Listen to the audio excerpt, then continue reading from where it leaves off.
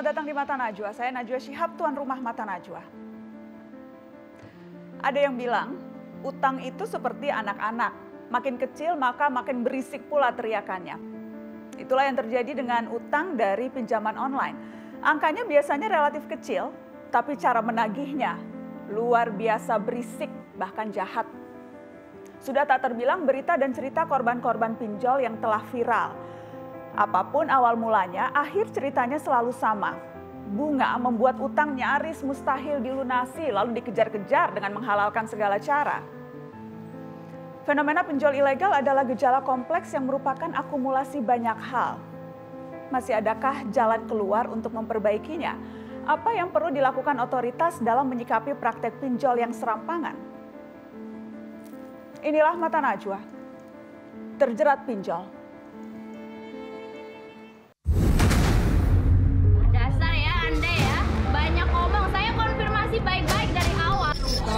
Nggak mampu, udah udah nggak mampu tengil.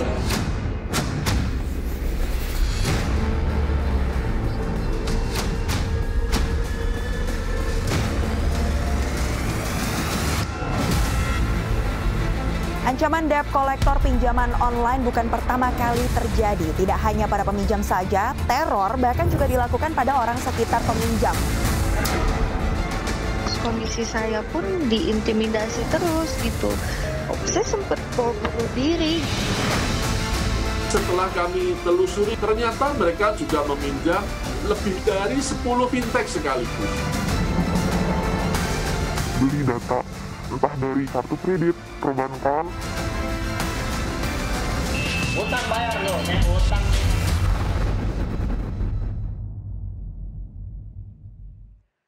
Teman-teman pinjaman online atau pinjol sering kali jadi jalan pintas untuk mendapatkan uang atau dana talangan secara cepat, terutama dalam situasi sulit. Celakanya, ada banyak pinjol ilegal yang mengakses dan menyalahgunakan data pribadi hingga berujung teror dan tipu daya. Seperti yang dialami oleh Ibu E yang terjerat hutang di 17 aplikasi pinjol. Saya sudah terhubung dengan Ibu E. Selamat malam Ibu. Selamat malam Ibu, bisa Iya, mendengar malam, Najwa di studio? Bisa mendengar baik. Eh, saya juga Ya. ingin terima kasih sudah bersedia bercerita di Mata Najwa malam ini. Selain Ibu E, nanti juga akan bisa langsung eh, bertanya karena saya juga sudah mengundang hadir di studio pengacara LBH Jakarta Jenny Sylvia Sari Sirait. Selamat malam Jenny. Selamat malam Kak Nana. Eh, hadir juga bergabung tepatnya lewat sambungan video ada Pak Tongam Lumbam Tobing, Ketua Satgas Waspada Investasi sekaligus Departemen Depart, Kepala Departemen Penyidikan Sektor Jasa Keuangan OJK. Selamat malam Pak Tongam. Selamat malam Mbak Najwa. Baik, saya ingin kita dengarkan dulu cerita dari eh, Ibu E ya Pak yang ter- terjerat pinjol. Persisnya jadi sampai 17 pinjol Anda terjeratnya Mbak. Mm-mm. Oke baik Mbak Nana, Eh, sudah saya jelas? Jelas silahkan Bu. Ya. Heeh. Ya. Jadi awalnya itu tahun 2018 saya kan bekerja di suatu perusahaan. Saat itu lokasinya masih mudah dijangkau. Eh, setahun kemudian kantornya pindah jadi lebih jauh, operasionalnya otomatis membengkak.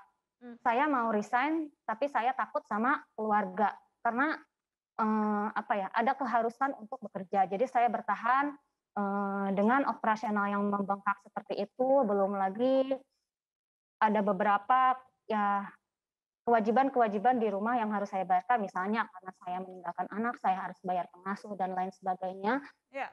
Eh, akhirnya saya coba satu kali eh, dan eh, itu masih bisa diatasi gitu kan. Terus eh, karena kantornya pindah lagi jauh lagi gitu kan kantor tempat kerja saya pindah lebih Oke, jauh jadi- lagi. Oh, jadi ma- maaf Ibu saya, saya potong. Jadi Anda mau cerita di awal memang karena kebutuhan mendesak yang membuat eh, Ibu Iya. harus meminjam lewat eh, aplikasi online begitu ya? Iya, karena saya sebetulnya udah nggak mau bekerja di situ karena akomodasi membengkak, tapi saya takut sama keluarga kalau saya harus resign gitu. Oke. Karena Oke. saya nganggur sebentar aja disuruh kerja gitu. Oke, dan dan akhirnya berapa aplikasi atau berapa pinjaman online nih yang Ibu akhirnya waktu itu pinjam? Eh, waktu itu saya pernah di ilegal-ilegal, eh, cuma kalau yang ilegal itu karena kasar sekali dan sangat-sangat mengganggu. Dan yang tersisa yang 16 ini uh, saya lagi negoin supaya bisa cicil jumlah pokoknya saja yang akan saya bayarkan semampu saya dan jika saya sudah mendapatkan pekerjaan lagi. Tapi Oke, uh, jadi, DC jadi total ada ber- jadi total mengerti. 17, yang legal berapa, yang ilegal berapa, Bu? kalau untuk saat ini saya legal semua karena yang ilegalnya sudah diselesaikan semua. Oke, jadi yang ilegal sudah diselesaikan semua. Total utang sampai sekarang sisa berapa? Hmm, saya lupa ya, 20-an kali ada ya. 20-an. Sebelumnya itu berapa banyak sebelum diselesaikan satu-satu?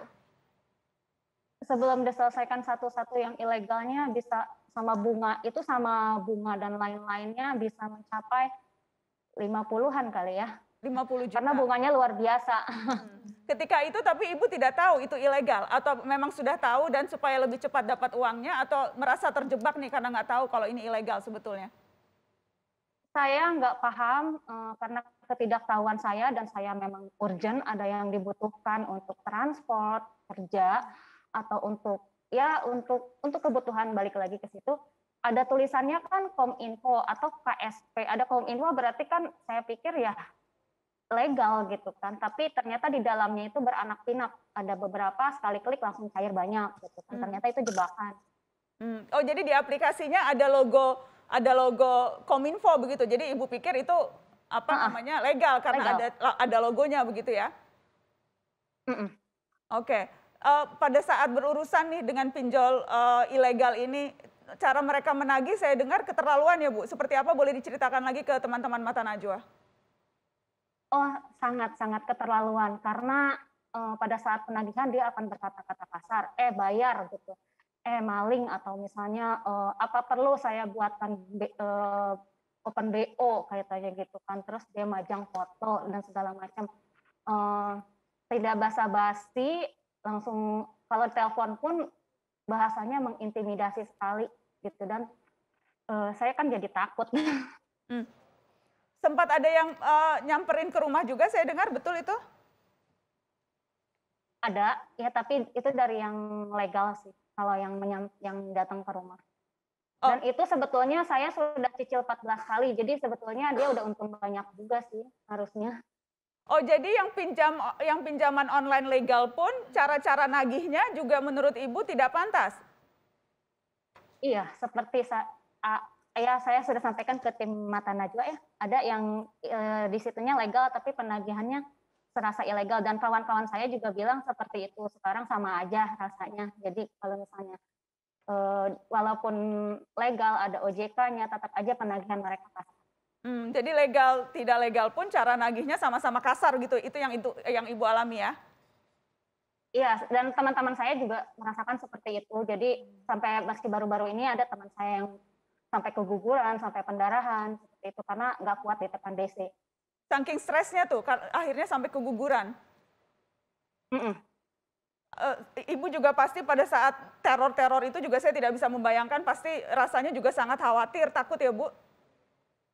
Iya, satu saya sa- saya stres puncak stresnya ya bulan Januari Februari dan saya mau ngomong ke mana? Saya mau ngomong ke orang tua juga nggak mungkin karena orang tua saya juga ekonominya biasa-biasa saja gitu kan. Mau menjual aset-aset apa yang saya punya gitu kan. Akhirnya saya coba ya saking stresnya apa-apa juga nggak fokus sih sebenarnya. Oke, Mau ngadu ke siapa? Sempat saat itu ke LBH Jakarta sih saya ngadu. oke Ibu jadi ngadu ke LBH Jakarta, Ibu sempat lapor atau ngadu ke polisi atau ngadu ke eh, Satgas Waspada Investasi? Eh, saya kalau ke polisi enggak ya karena menurut teman saya kalau ke polisi juga paling dibilanginnya gini ya salah sendiri ngutang ya bayar gitu kalau polisi pernah teman saya lapor seperti itu gitu kan Hmm. tapi kalau ke waspada investasi saya sempat laporkan yang RP pinjaman itu karena udah sangat mengintimidasi sekali jadi Oh, hmm. saya lapor ke satgas eh, investasi Apa respon dari investigasi. Satgas waktu itu Ibu? Di- Dibantu tidak? Eh, dibantu sih dan memang eh, nggak lama kemudian ditutup tapi eh, waktu itu saya langsung cek setelah ada pengumuman ditutup di Google ya eh, udah eh, masih ada di Play Store cuman sekarang saya nggak tahu udah nggak pernah ngecek ngecek lagi masih ada atau tidak di Play Store Oke, baik. Saya ingin ke Mbak Jenny. Mbak Jenny cerita tadi yang kita dengarkan ini eh, dibantu oleh LBH Jakarta. Seberapa banyak sebetulnya Ibu E dan yang lain-lain begitu yang yang mengadu ke LBH Jakarta menjadi korban pinjaman online? Baik, terima kasih kan Nana. Uh, pengaduan yang masuk ke LBH Jakarta sejak pertama kali LBH Jakarta buka pos terkait dengan pinjaman online sampai dengan uh, bulan Agustus kemarin ya itu kalau kami hitung sudah di atas 7.200 sebenarnya data data pengaduan yang masuk ke LBH Jakarta. Pengaduan kanalnya bisa macam-macam. Uh, datang langsung ke LBH Jakarta, konsultasi, ada email juga yang kami sediakan khusus untuk teman-teman korban pinjaman online dan pengaduan mekanisme pengaduan-pengaduan lainnya. Kurang lebih di atas 7.200 lah, Pak. 7.200 dan ya. ceritanya kurang lebih hampir sama yang kita dengarkan. Persis, persis. Bagaimana terjebak dengan pinjaman online, bagaimana kemudian tagihan. Kalau tadi disebutkan yang menagih bahkan ketika pinjaman online legal pun cara penagihannya juga sama tidak beradabnya itu juga Anda temukan? Betul Kak, kalau uh, dari pengaduan yang masuk ke LBH Jakarta, sepertiganya adalah aplikasi pinjaman online terdaftar atau berizin di OJK. Kami tidak menggunakan uh, term legal dan ilegal karena menurut kami semuanya berada di dalam pengaturan peraturan perundang-undangan. Hmm. Nah, problemnya adalah sepertiga di antara pengaduan yang masuk ke LBH Jakarta itu semua mengadukan pinjaman online terdaftar dan berizin di OJK. Hmm. Uh, jenis uh, pelanggarannya sama atau berbeda, beda-beda tipis juga sebenarnya gitu. Hmm. Terkait dengan data pribadi itu pasti masuk jadi uh, permasalahan. Pun juga penagihan masih juga muncul sebenarnya sekalipun sekali lagi udah ada pengaturan-pengaturan dasar okay. lah ya dari OJK begitu Kak. Baik, nanti kita akan lanjutkan lagi. Uh, Ibu E, uh, kita harus break, tapi saya nanti akan kasih kesempatan Anda juga untuk berbicara dengan Ketua Satgas Waspada Investasi. Apakah masih ada unek-unek atau apa yang Anda harapkan bisa diambil langkah lagi untuk uh, utang Anda yang belum terselesaikan. Dan setelah ini saya juga akan berdialog iya. teman-teman yeah. dengan Nafa Urba yang juga menjadi korban dari pinjaman online. Tidak tahu apa-apa, tidak pernah meminjam, tetapi diteror seperti apa kisahnya? Setelah pariwara tetap di sini.